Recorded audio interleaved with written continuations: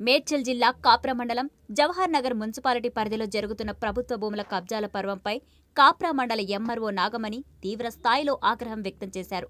జవహర్ నగర్లో దళారులు ప్రభుత్వ భూములను కబ్జాలు చేసి అక్రమ నిర్మాణాలు చేపడుతుండటంతో రెవెన్యూ సిబ్బందితో కలిసి ఆకస్మికంగా పర్యటించిన ఎంఆర్ఓ నాగమణి పలుచోట్ల అక్రమంగా చేపడుతున్న నిర్మాణాలను జేసీబీ సహాయంతో కూల్చివేశారు.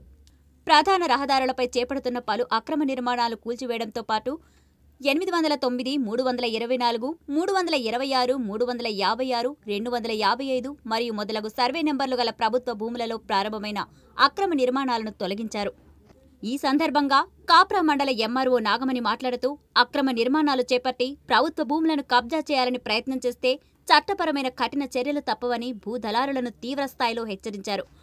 అలాగే ప్రజలు దళారుల మాయమాటలు నమ్మి ప్రభుత్వ భూములను కొనుగోలు చేయడం నిర్మాణాలు చేపట్టడం చేసి మోసపోవద్దని విజ్ఞప్తి చేశారు.